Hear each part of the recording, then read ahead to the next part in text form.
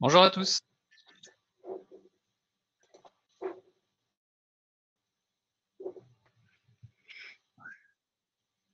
Bonjour Gisèle. Bonjour, bonjour Guillaume, bonjour à tous. J'ai l'impression qu'on est euh, en broadcast et en ligne, donc tout va bien. En tout cas, on a l'air de s'entendre. Euh, je te laisse euh, partager. Ouais. Et on nous entend, on nous confirme ça dans le chat, donc c'est parfait. Ça marche. Alors, moi, j'ai partagé comme ceci. Est-ce que vous voyez du coup le titre de la conférence? Donc, bienvenue à tous. Vous êtes bien à bord de la conférence Les aventuriers de l'agilité perdue. Euh, pour ceux qui se sont trompés d'endroit, voilà, au moins vous, le savez.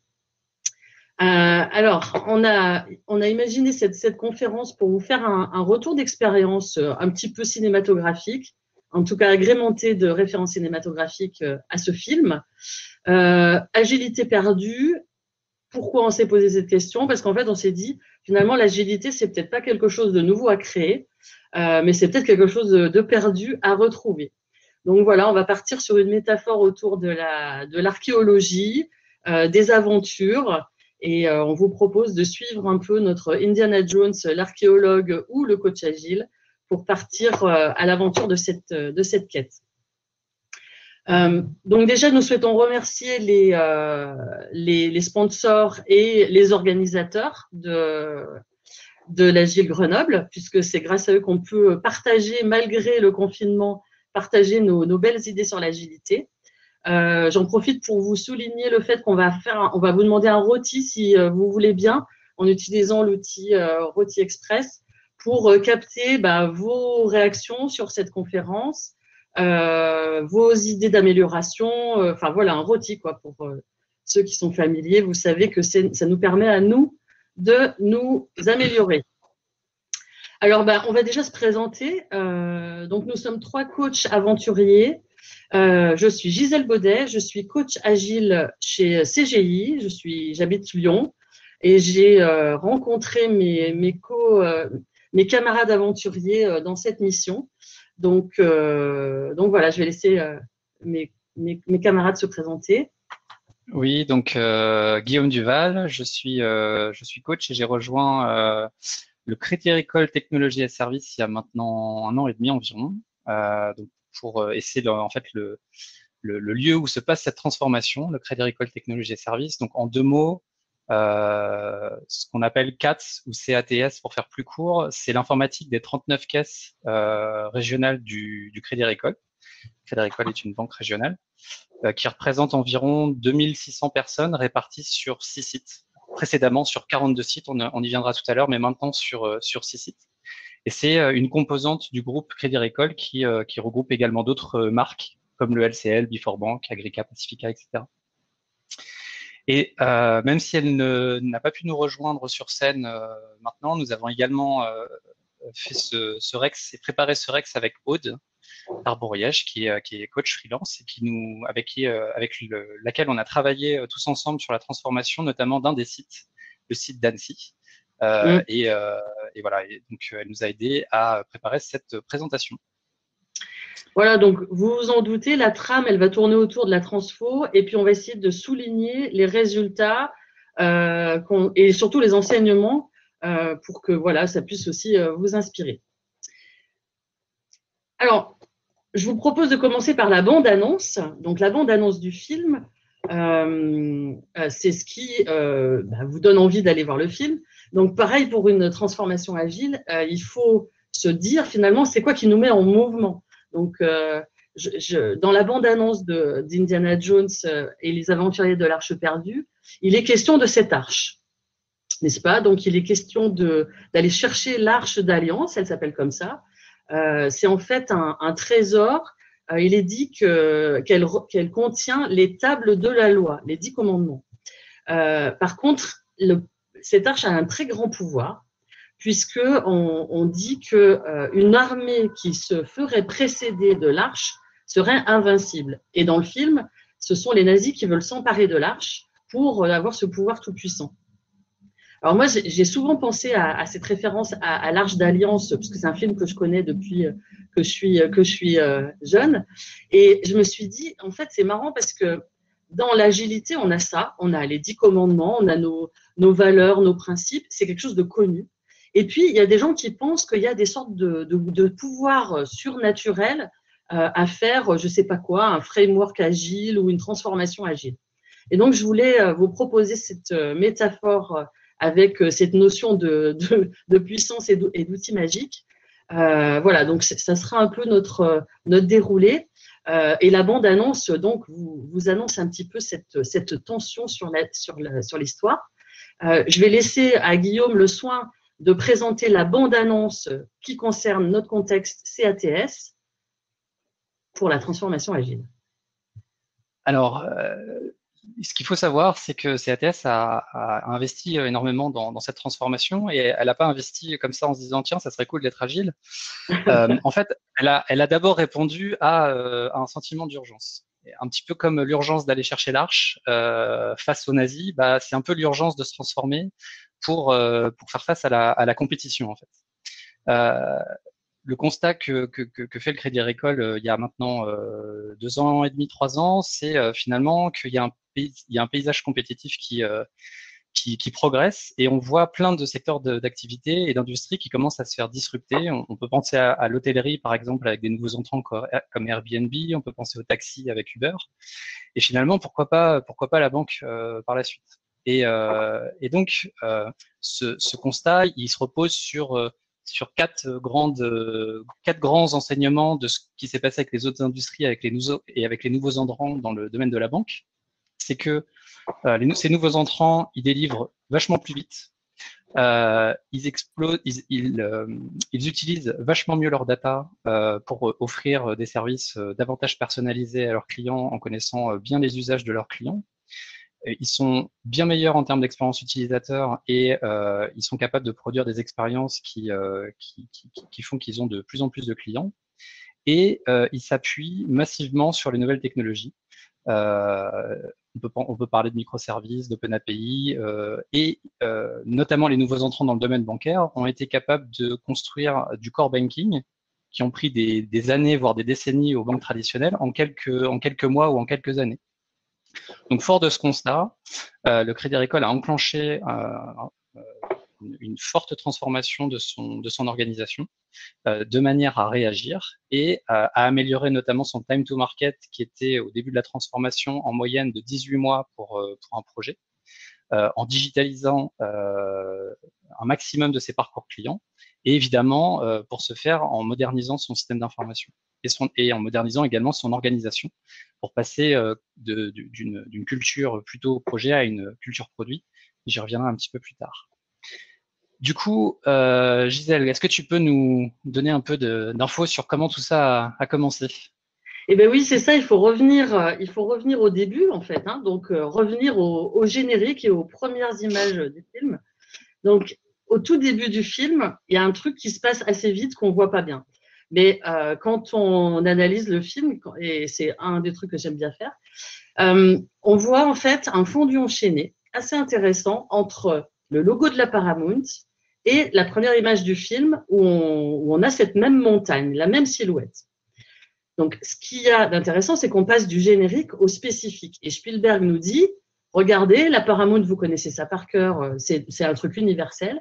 Et ben moi, je vais vous faire un film limite, il va être encore plus connu que ce logo-là, parce que cette silhouette que je vous mets ici, elle va devenir mythique pour vous. Et donc, il commence déjà à ancrer son personnage dans quelque chose de, plus grand que, le film lui-même et plutôt un truc euh, assez, euh, on va dire, mythique. Donc voilà, ça c'est un petit mécanisme du début.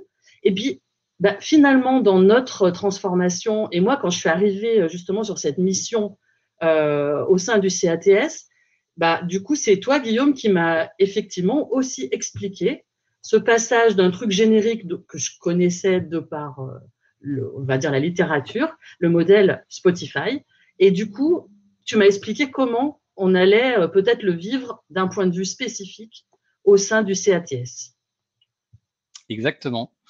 Euh, ce, qui, est toujours un peu le piège quand on démarre une transfo, c'est d'essayer de plaquer un, modèle et de se dire bah, ça a l'air de marcher chez les autres, faisons exactement la même chose, sans tenir compte finalement de son écosystème, de son histoire, de sa culture d'entreprise. Alors, malgré tout, il faut bien partir de quelque chose parce que euh, quand on n'est pas une boîte agile, euh, le devenir, ça vient pas tout seul. il faut quand même s'appuyer un minimum sur, euh, sur des choses qui, qui se sont produites auparavant. Donc, lorsque la transformation a été initiée, voilà, il y a plusieurs frameworks qui ont été, qui ont été observés. Et l'un des frameworks qui a apporté une réponse sur le plan organisationnel et qui a semblé satisfaisant pour, pour le contexte et ATS, c'était le modèle Spotify. Euh, le modèle Spotify, c'est pas vraiment un framework agile, c'est plutôt un retour d'expérience d'une entreprise suédoise qui est, qui est, désormais bien connue, qui s'appuie sur une organisation euh, en, euh, euh en, en, différents éléments. Euh, D'abord, il y a le concept de tribu, qui regroupe un ensemble de squads.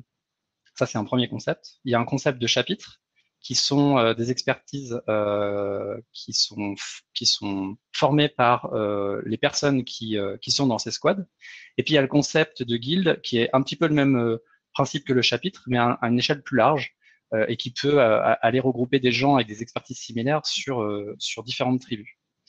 Alors du coup, comment est-ce que ça comment est-ce que ça s'est appliqué chez chez CATS alors, tout, d'abord, il y a euh, des éléments de cette organisation qui ont été euh, répliqués de manière un peu, euh, je dirais pas brutale, mais proche de ce de ce qu'était le modèle Spotify, à savoir se dire que ok, on a une organisation très hiérarchique avec des responsables d'unité, au-dessus des responsables d'unité, des responsables de service, au-dessus des responsables de service, des responsables de département, au-dessus des responsables de département, des directeurs, et puis il y a aussi une couche de directeurs un des premiers trucs qui a été fait, c'est de se dire, OK, on va remettre à plat cette organisation. Maintenant, on va, on va construire des tribus.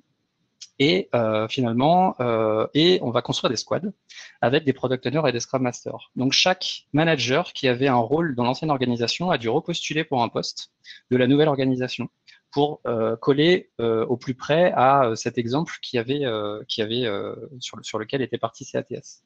Ça, c'est un des, un des premiers trucs qui, qui, qui, a été fait et qui a pas mal chamboulé la boîte, mais qui a été très bien accompagné par les RH. dans, dans, dans, dans ce changement a, été très bien accompagné par les RH. Et en fait, ils ont sécurisé tout le monde pour s'assurer que finalement chacun retrouve un rôle dans la nouvelle organisation, mais simplement en repostulant. Donc certains euh, l'ont plus ou moins bien vécu, évidemment. Euh, mais en tout cas, on a pu aller euh, relativement vite sur la mise en place des tribus qui, au départ, étaient constituées de squads qui n'étaient pas encore basculés en agile.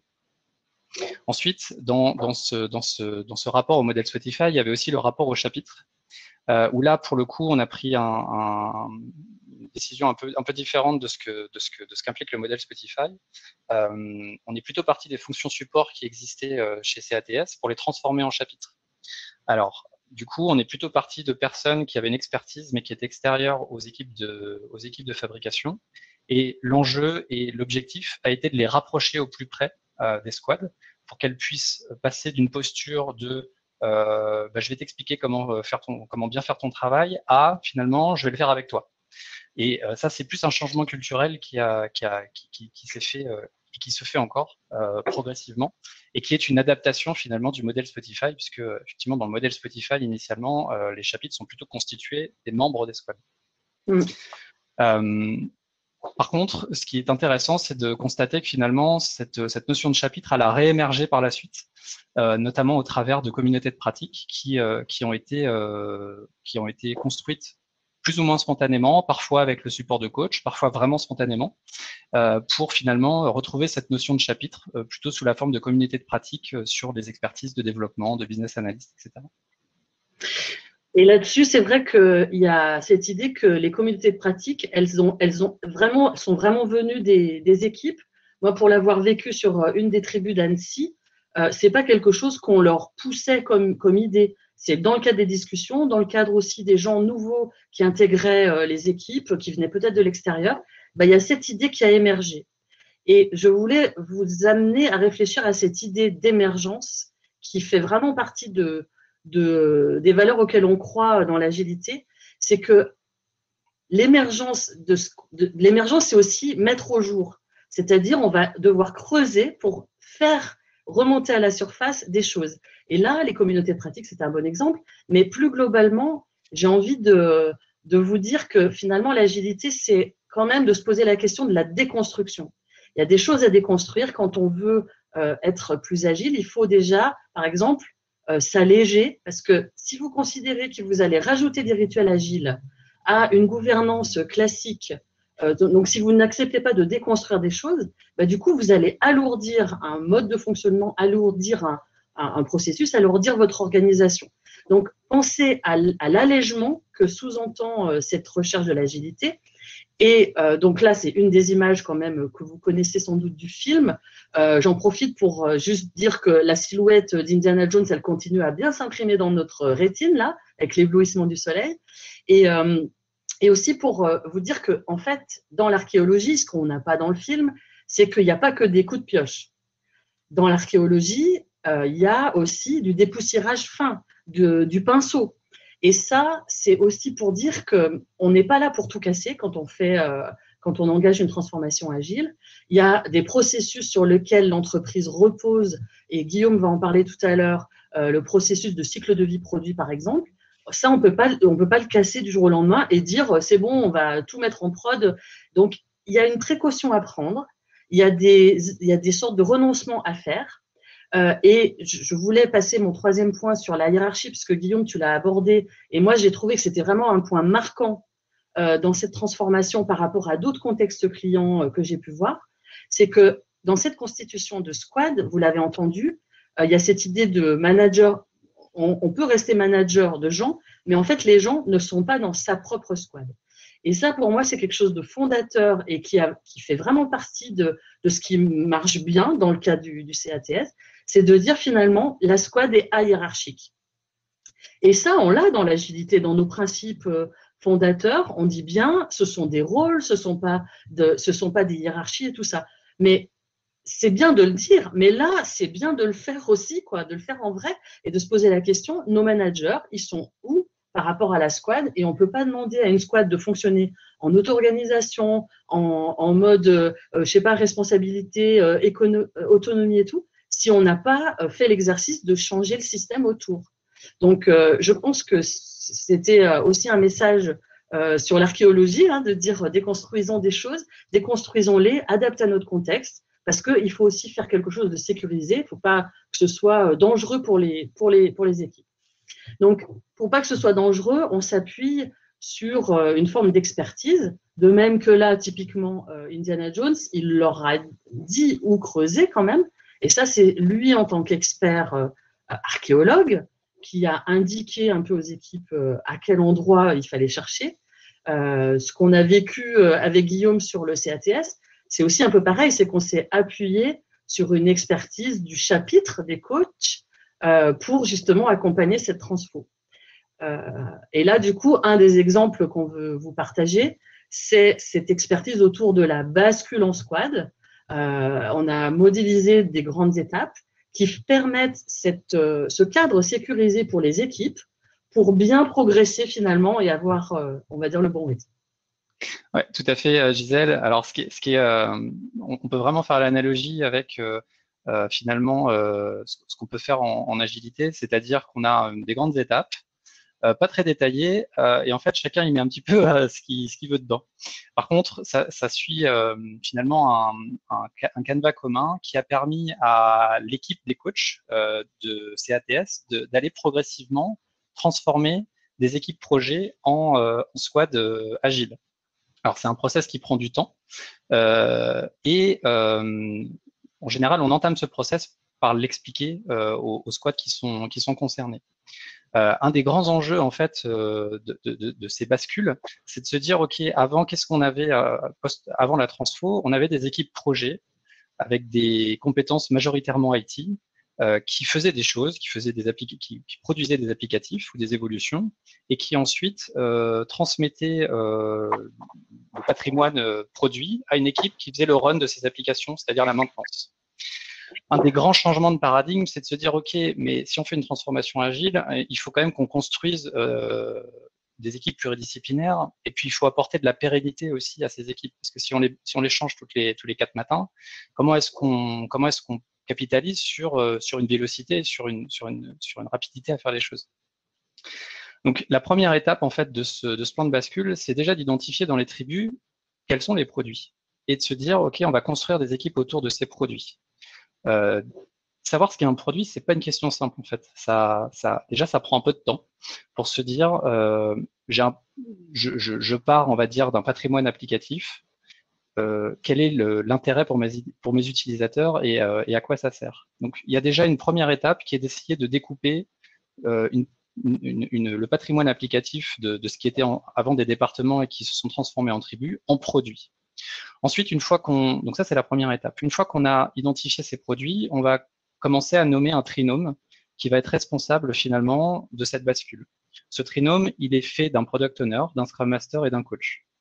Euh, et en fait, ils vont avoir la responsabilité de préparer cette bascule dans un premier temps, puis ensuite de mobiliser l'équipe autour du produit, et euh, le coach, in fine, va euh, ensuite faire un accompagnement qui va durer plusieurs mois pour va dire s'assurer que les équipes euh, appréhendent euh, au fil de l'eau les, pratiques et, progressent.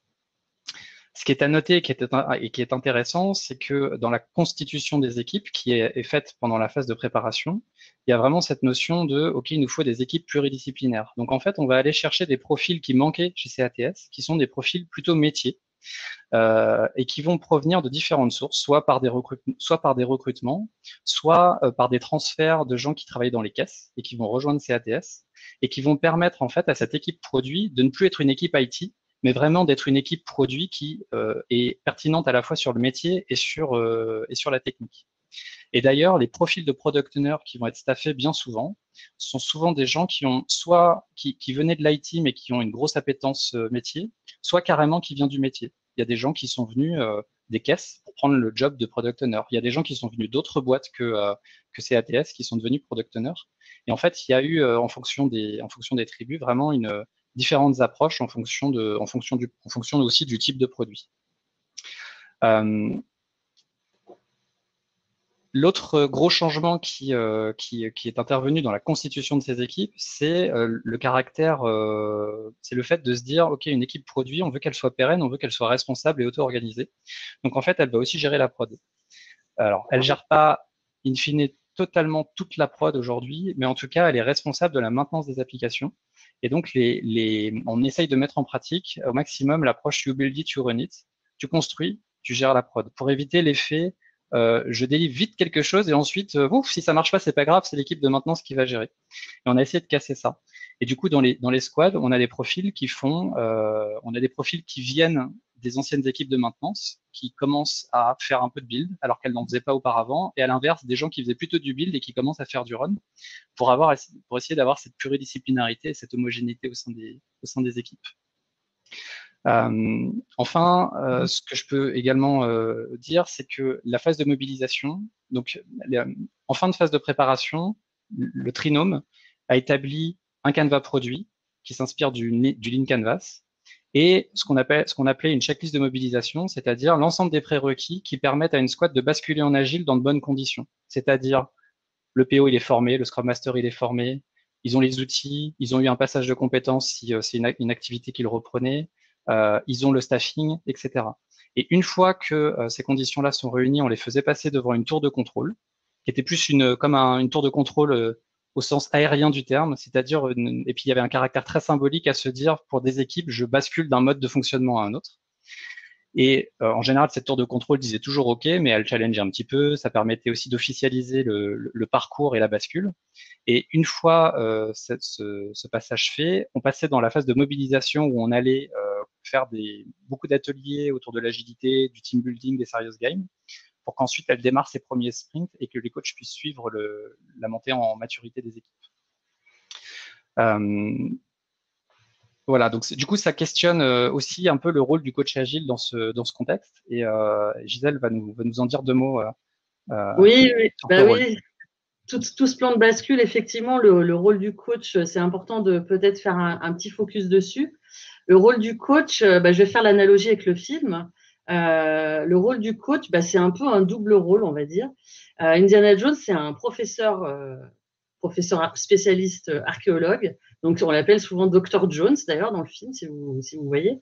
Euh, mais mais c'est aussi un homme de terrain. Et donc, j'aime bien cette double image aussi du coach, qui est euh, à la fois l'enseignant et qui peut prodiguer des formations, euh, vraiment être l'expert, être, être le sachant en archéologie, en agilité, mais surtout qui est sur le terrain et qui là doit s'adapter à ce qui se passe dans les équipes, euh, faire cet accompagnement sur mesure et trouver le bon rythme avec les gens, euh, puisque on, a, bien vu, c'est pas euh, c'est pas des calendriers de bascule euh, à tout va, c'est vraiment un accompagnement pour que tout que l'équipe se détermine là-dedans.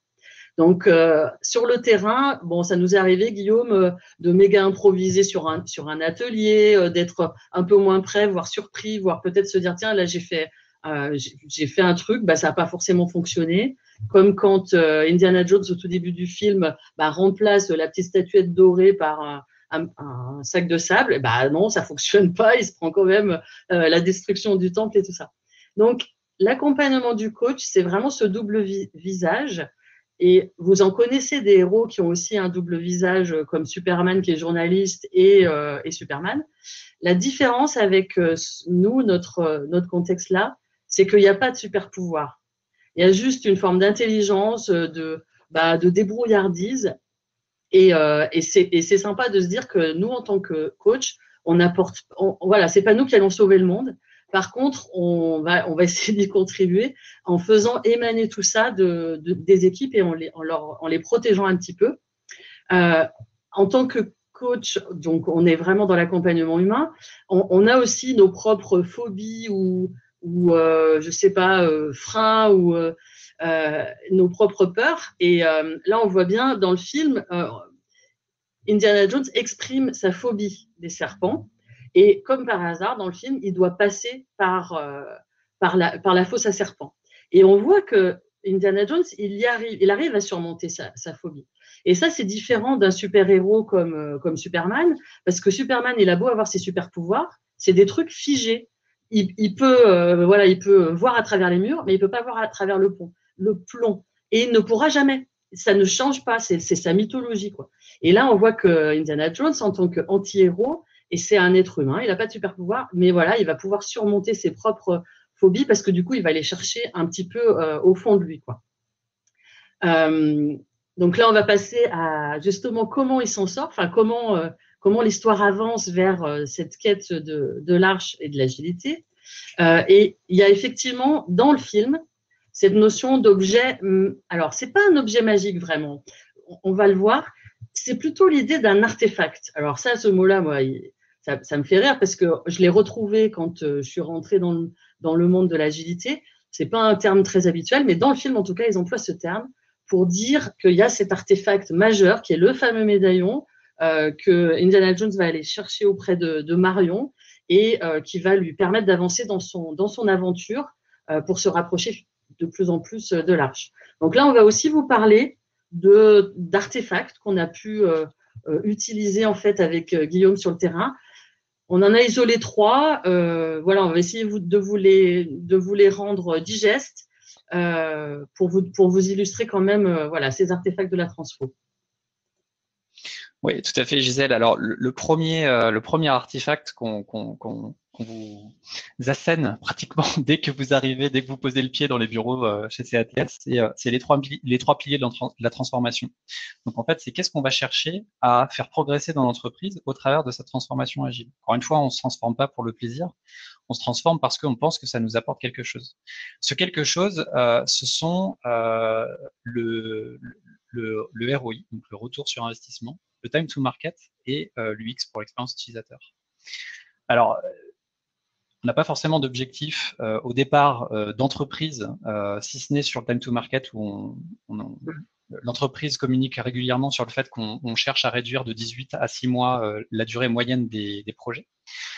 mais en fait, en revanche, on, va, on va utiliser ces trois piliers de manière assez fréquente dès lors qu'on va chercher à mesurer quelque chose fait, tout ce qu'on va faire, on va le mesurer à l'aune de ces trois de ces trois piliers. Par exemple, euh, il y a un nouveau projet, et eh ben on va devoir le décrire euh, selon ces trois axes en disant qu'est-ce que ça apporte en termes de ROI, est-ce que ça apporte plus de bénéfices, est-ce que ça réduit des coûts, euh, qu'est-ce que qu'est-ce qu'il apporte en time to market, est-ce que par exemple je fais, je sais pas, je fais une, une, amélioration du socle technique, donc du coup je vais gagner du temps sur mon process de livraison, ou je vais gagner du temps sur mon process de fabrication? Et également sur l'UX, est-ce que je réponds à des irritants clients? Est-ce que, est-ce que ça va améliorer Est-ce que c'est susceptible d'améliorer ma note, par exemple, sur, sur, sur l'app, si, on parle de, si on parle de ma banque?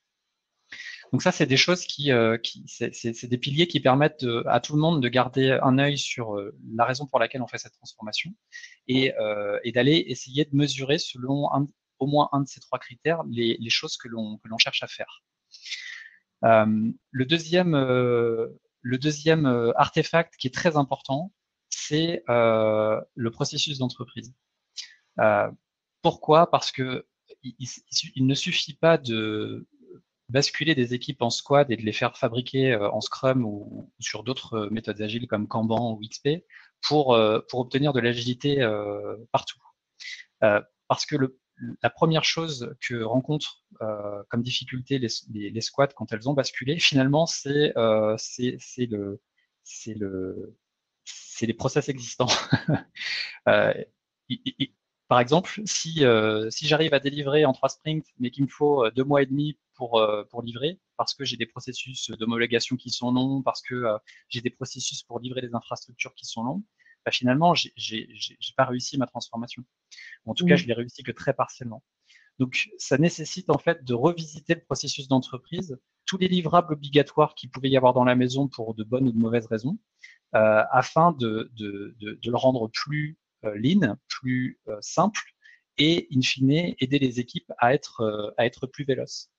Donc, l'équipe et les équipes en charge de la transfo ont retravaillé ce processus d'entreprise ils ont, identifié, on va dire, trois grandes familles de, processus. Les processus amont, euh, avec notamment l'émergence de l'étude d'opportunité, qui est une phase qui a pour vocation à questionner la valeur de ce qu'on cherche à faire.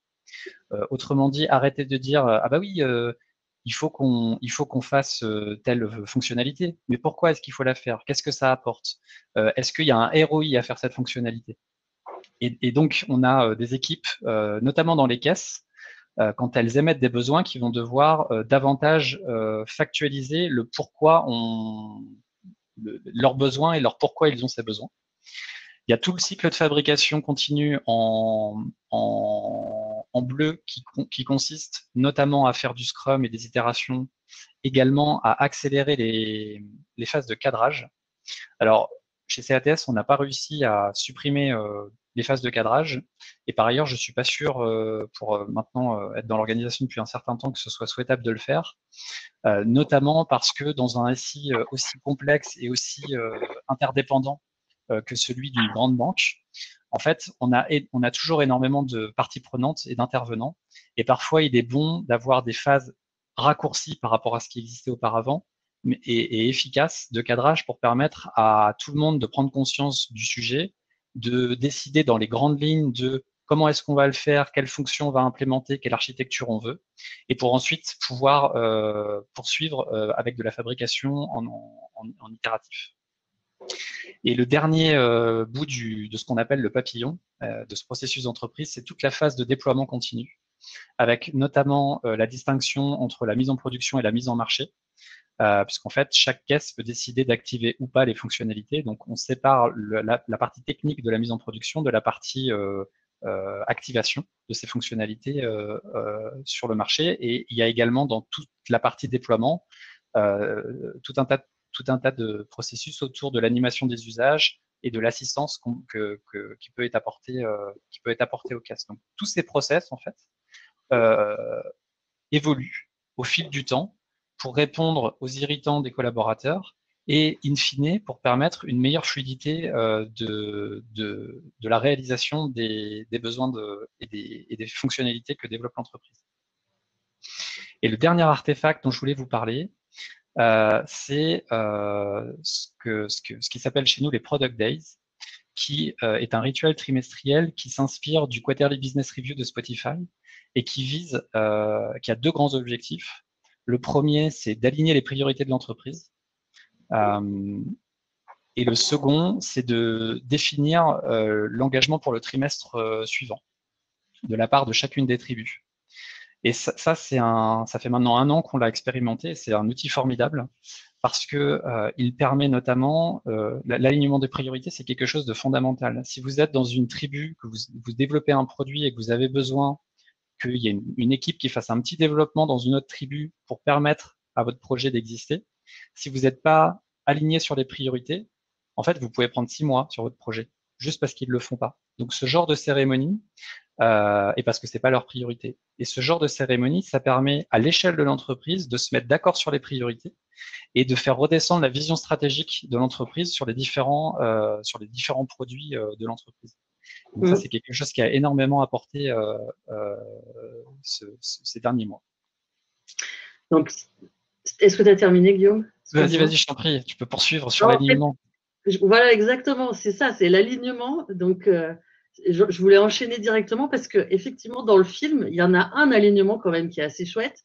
C'est euh, quand euh, justement Indiana Jones se sert du fameux médaillon. Donc là, on le voit, c'est petit, mais c'est ce qu'il met au bout de, de, son bâton là pour en fait faire l'alignement des rayons du soleil avec euh, ce qu'il a trouvé dans l'énigme et tout ça. Et du coup, son rôle à lui de de super, enfin, qui n'est pas un super-héros, c'est de trouver le bon alignement.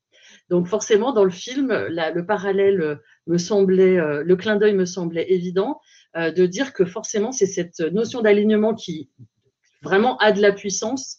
Et Guillaume l'a souligné, je pense que tout le monde s'en félicite de, de créer cela. Et donc, comme dans le film, grâce à cet alignement de la lumière et du reflet, on va révéler euh, un peu plus d'agilité. On va révéler euh, tout ce qu'on a, tout ce qu'on cherche à, faire quand on veut réduire les, time to market et, remplir les objectifs qu'on vous a exposés au début.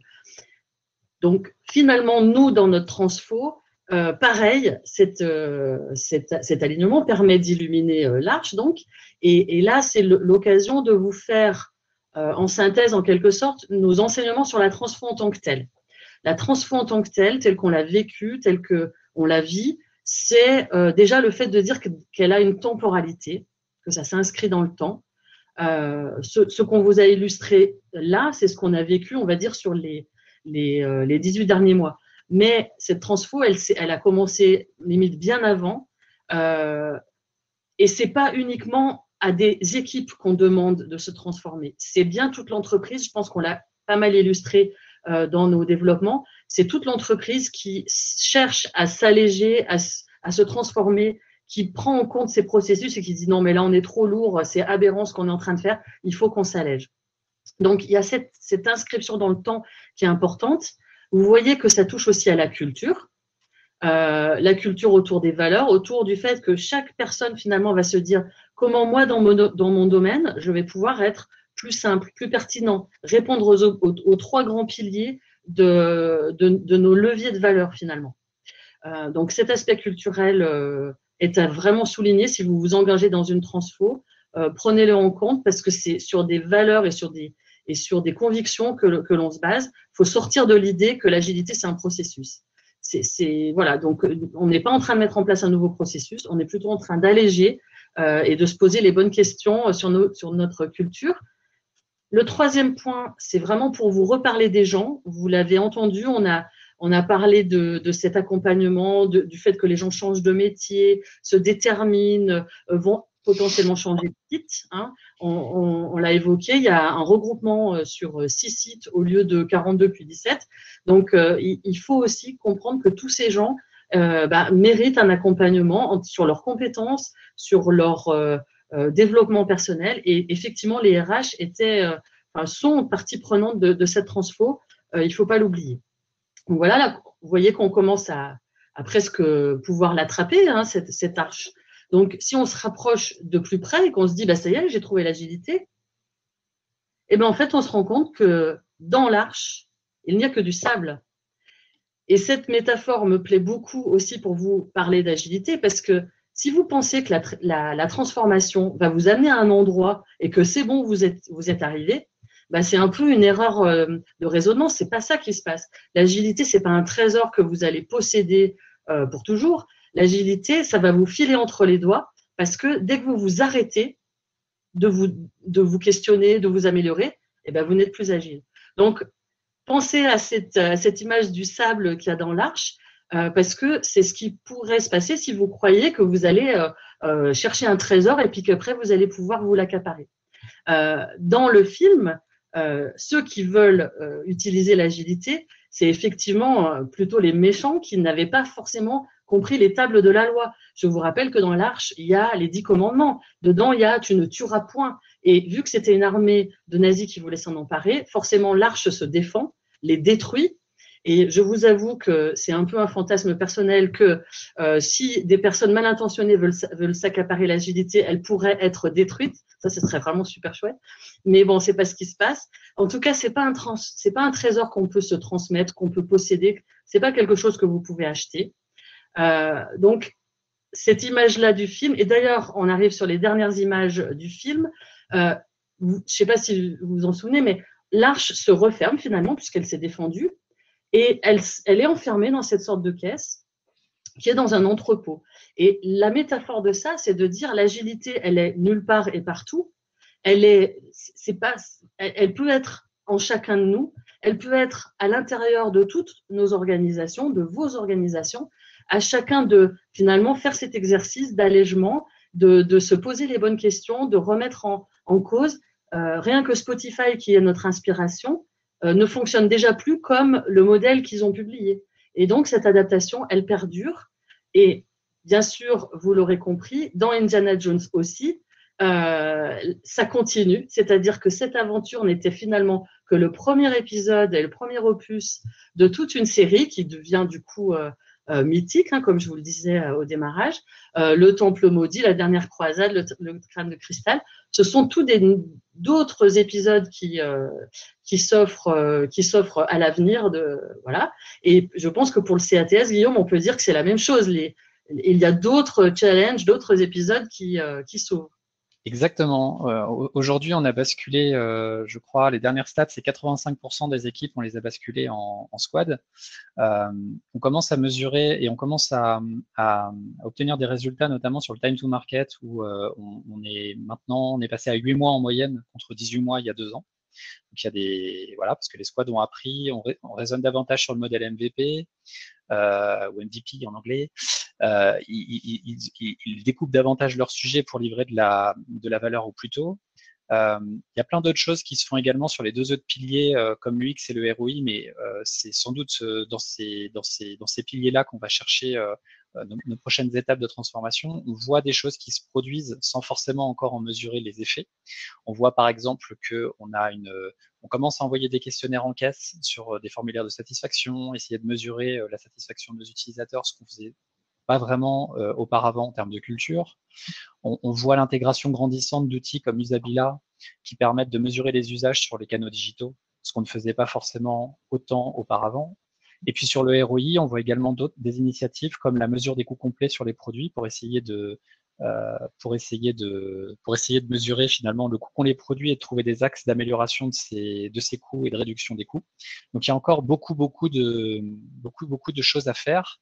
Et finalement le coach, euh, une fois qu'il a passé les les équipes en, qu'il a basculé les équipes en squad, bah, sa mission se, se transforme pas, mais elle évolue, je dirais, euh, et elle va vraiment vers euh, ce coaching de la performance, euh, à la fois la performance produit, est-ce qu'on fait bien ce qui est le plus important, et également la performance d'équipe, est-ce qu'on est véloce et est-ce qu'on peut encore aller plus vite? voilà, il nous reste, on a, on a, on a, il nous reste très peu de temps. Euh, il y a une question dans le chat qui porte sur euh, les Product Days. Euh, hmm. et notamment sur comment est-ce que ça se passe ces Product Days. Alors pour faire de manière, euh, pour raconter de manière très schématique, euh, c'est un peu plus qu'une cérémonie, c'est un temps dans l'entreprise qui se prépare.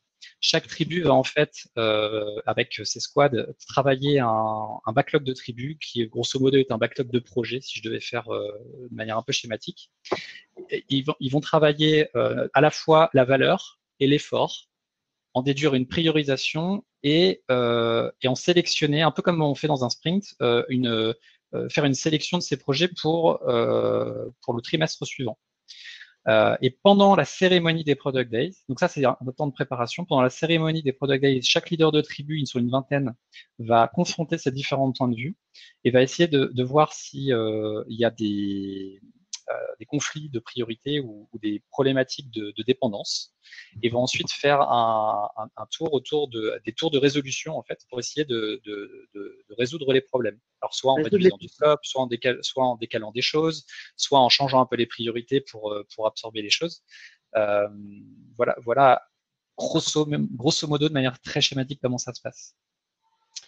Et sur les réticences au changement, euh, il y en a plein, mais euh, il y en a moins qu'ailleurs.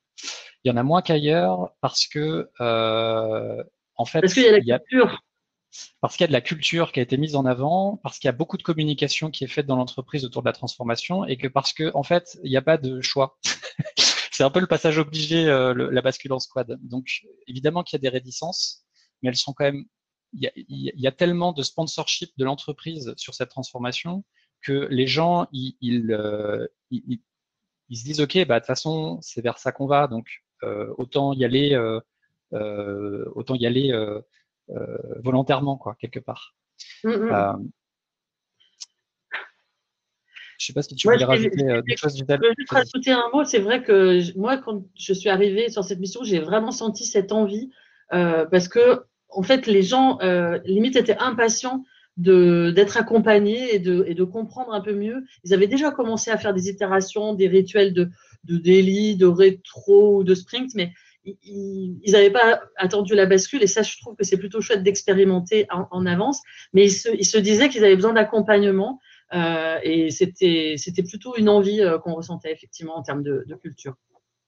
si je peux prendre une dernière question, euh, où il y a quelque chose chouette. Ouais, alors ça, c'est une, très bonne question. J'ai répondu un tout petit peu dans le chat, mais je vais développer. En fait, euh, effectivement, il y, a, il y a, on a réduit à peu près par deux le nombre de managers, euh, soit parce que ces, anciens managers sont devenus PO, Scrum Master, équipiers, ils ont pris en, certains ont pris en charge des missions euh, transverses, d'autres ont quitté l'entreprise pour d'autres entreprises, sont allés en caisse régionale ou bien ont pris leur retraite quand il y a eu un plan sur pour permettre à des gens de partir en pré-retraite. Et en fait, le, un des seuls rôles qui a vraiment gardé une, une, casquette de manager, c'est le leader de tribu. Mais assez vite, on s'est rendu compte que, euh, en fait, gérer 50, 60, 70 personnes, c'était impossible euh, de gérer le développement personnel de 70 personnes pour un leader de tribu qui a en plus d'autres tâches et d'autres fonctions. Euh, c'était impossible. Donc, assez vite, on a expérimenté un système, un système de mentorat euh, et en fait, euh, devant le succès de ce système, on l'a généralisé. C'est quoi le mentorat? Ça consiste en fait à considérer que euh, n'importe qui dans la tribu, enfin n'importe qui, on sélectionne des mentors dans une tribu.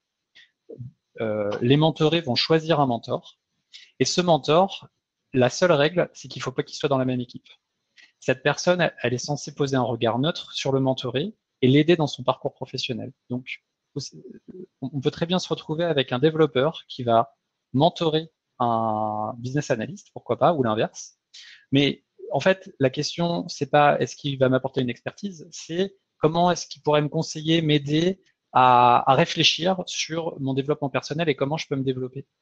Et donc on a mis, on a mis, on a mis ça en place. Les menteurs, les mentors, pardon. Il euh, n'y a pas de, c'est un lapsus, mais il n'est pas révélateur. Les, les mentors vont euh, faire un tour 360 euh, des gens qui travaillent avec le mentoré et, et, lui faire un feedback en lui disant, bah voilà, voilà ce que j'ai entendu et, et voilà comment tu peux t'améliorer. Parfait. Merci beaucoup. Merci Elise de nous rappeler qu'on a dépassé. On a démarré en retard. Même pas. Pas tant que ça.